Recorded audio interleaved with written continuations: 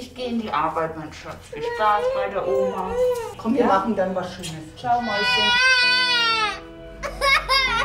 Wir müssen hier leider ausziehen. Die haben das Haus verkauft. Ich bin die Steffi Fördschlanger, alleinerziehende Mama von zwei Kindern. Liam und Joel heißen die Jungs.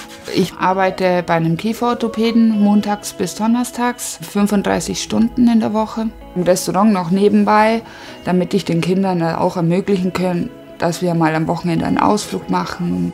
Bin ständig nur noch im Internet, schreibe alle Wohnungen an, die ich nur finden kann. Die Begründungen da für die ähm, Absagen waren zum Teil, wir wünschen keine Kinder. Bei Dreizimmerwohnungen war die Aussage, ähm, wir nehmen dann doch lieber einen Doppelverdiener.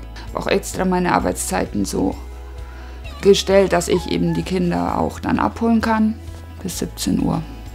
Am Wochenende, wenn ich arbeite, kommt die Oma zu uns. Nachdem ich ja bis April immer noch nichts Positives gehört habe, habe ich angefangen, auch eine Anzeige zu schalten und habe eben 1000 Euro Belohnung ausgesetzt für die erfolgreiche Vermittlung. Wir würden uns wirklich sehr freuen, wenn uns jemand helfen kann. Wir suchen eine Zweizimmerwohnung.